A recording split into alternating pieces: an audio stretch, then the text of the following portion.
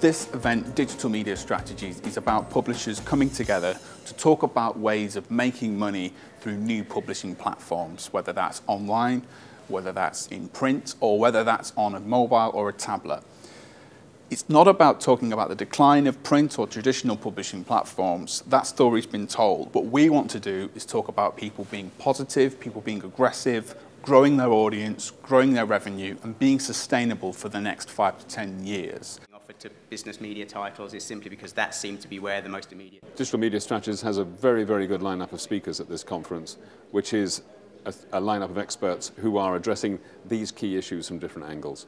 And I think that's very, very helpful, particularly if you're a publisher, to go and listen to expertise around digital uh, marketing, around audience development, around data management, and around how um, consumption patterns are changing. We all face the challenges of reaching consumers on different devices, as well as how to monetize them. A third of my readers now get the Wall Street Journal experience between a 3-inch and a 7-inch device. So you have to fundamentally rethink how you're going to present your journalism to them. And that's a tough challenge because most newsrooms are not geared towards, they were geared towards thinking about a paper, broadsheet, and then we, with pushing and kicking and screaming, we got them thinking about the website.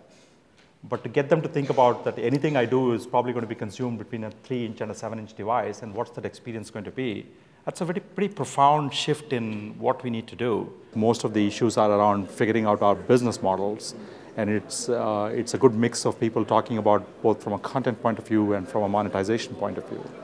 Uh, most journalism events tend to be one or the other, so it's good to be able to be in one where the focus is how do we take great content and how do we make a lot of money out of it. Globe, there isn't really a silver bullet. The point is you need to really understand exactly what it is your consumers and clients are, are, are going to use this kind of service for.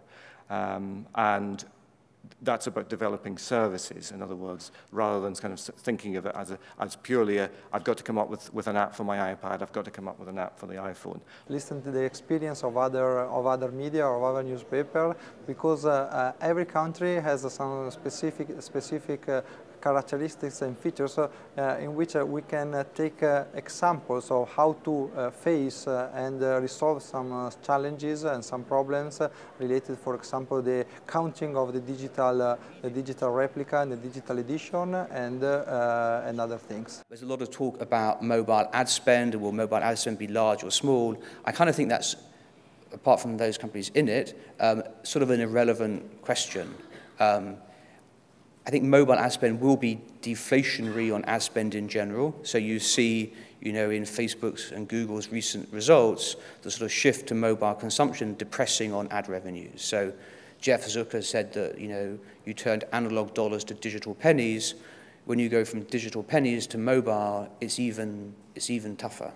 One of the things I think's worked really well is the roundtables. Often you come to industry events, there's a lot of listening to other people talking. I, I guess some people had to listen to me talking earlier.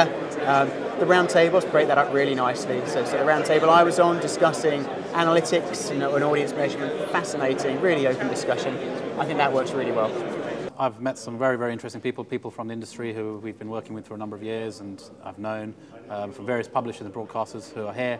Um, and, and the good thing is that they're coming up against the same challenges and we're finding some real interest um, in terms of this debates that are going on in the roundtables and in some of the um, actual keynotes about the challenges and the kind of the same questions are coming up and they're asking for the same you know, feedback and information and help um, in sort of coming up with good strategies and working together in this kind of atmosphere is actually really good.